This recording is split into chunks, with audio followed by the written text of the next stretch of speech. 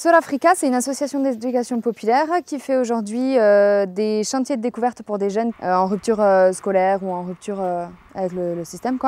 On fait aussi des projets européens, donc avec le programme Erasmus+, et on fait de la location de toilettes sèches, un projet qui s'appelle Ecoloca.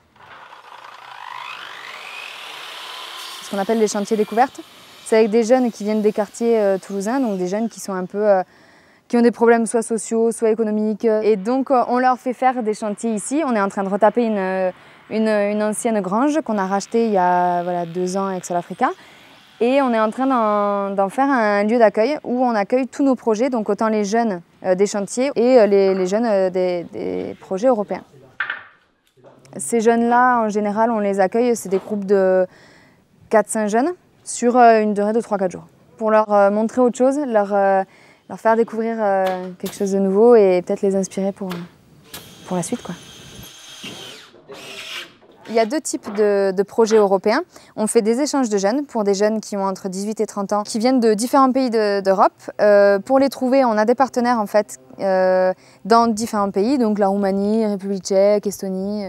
Et on fait aussi des formations de travailleurs jeunesse qui sont euh, déjà euh, sur le terrain en étant éducateurs, enseignants, animateurs ou quoi que ce soit.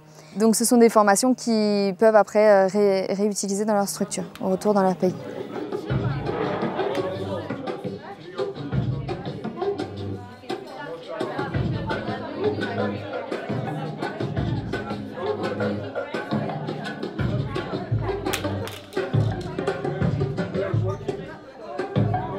Premier projet qu'on a fait en 2017, c'était euh, Your Body is a Voice. Donc c'était autour de l'expression corporelle. On a fait du chant, du théâtre et de la danse, danse contemporaine, avec des partenaires euh, venant de huit pays différents en tout. Donc c'était une, formation de travailleurs jeunesse et le but était de leur apporter des outils, euh, autant en danse qu'en chant, qu'en théâtre, pour apporter après avec les jeunes avec lesquels ils travaillent. It's great because that's not that you are sitting on your uh, mm, bottom and listen to something uh, but you do you uh, experience by doing. And it's very good because you learn more and this form of education give you more than normal education. Uh, it's good for life Alors le second stage s'appelait Express Out Loud sur hum, l'expression citoyenne et l'esprit critique en fait. Euh, donc là, on a utilisé plusieurs, euh, plusieurs méthodes pour s'exprimer, pour ramener de la convivialité dans les rues un petit peu et de la simplicité entre euh, citoyens.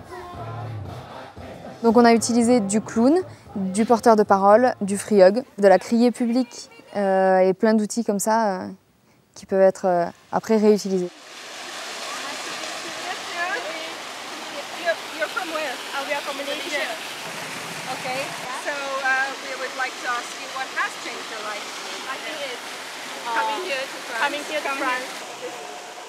Alors le troisième euh, projet en 2017, c'était Mixed Abilities. Là, on était autour du handicap, l'inclusion par le handicap, la lutte contre la discrimination aussi. Et donc là, c'était pareil, 10 jours avec euh, par contre un échange de jeunes. Donc 10 jours avec 5 euh, pays différents.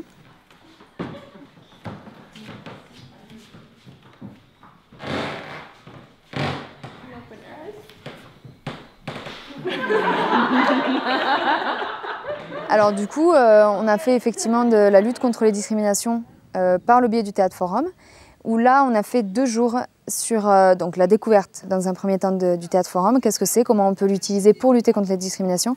Et ensuite, on a créé nos propres scènes. Et on a joué ces scènes ensuite dans une école primaire pour sensibiliser en fait des jeunes à la lutte contre les discriminations. Get more informed about the topic here, about the disabilities of the young people of Europe. We know about it and we care about it, but we know a little too little. And every time I see someone getting discriminated or like treated badly, I like really care about it and I feel bad. And I feel that uh, I am blessed in the way that uh, I'm not in a bad position. And that's why I think that uh, I like to take more interest about other people to help them feel the same way everyone does.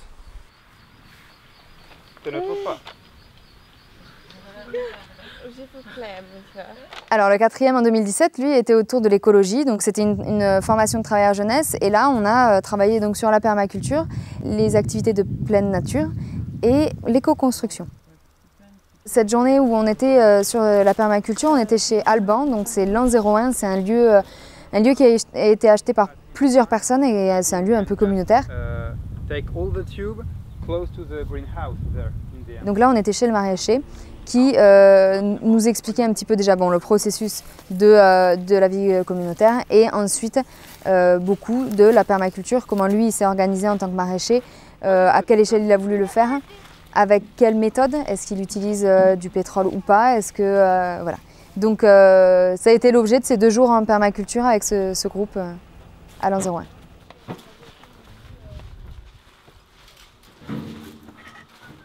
Nous, sur les échanges européens et formation de travailleurs jeunesse, ce qu'on fait, c'est promouvoir effectivement le, côté communautaire, faire ensemble.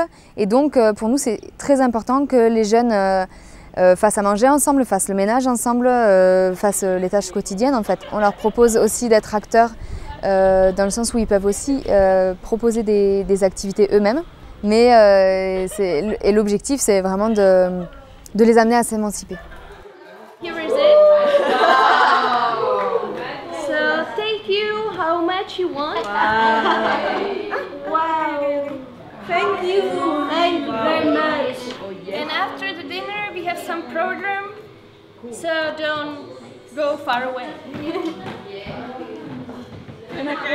On est sur euh, beaucoup de thématiques sur le pôle européen parce que euh, ça dépend aussi de ce que la personne qui organise l'échange a envie de partager de son expérience, de ce qu'elle connaît, de ce qu'elle sait.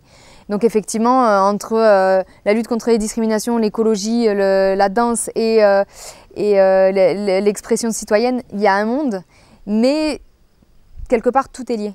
C'est le respect de l'humain, c'est se respecter soi, et dans tous les cas, c'est créer une identité européenne pour vivre des, moments interculturels, pour découvrir les autres cultures, s'ouvrir l'esprit, ah arriver à vivre ensemble, arriver à créer euh, les citoyens de demain qui vont pouvoir être responsables, qui vont pouvoir euh, avoir un esprit critique et être, euh, engagés dans, dans leur vie de citoyen.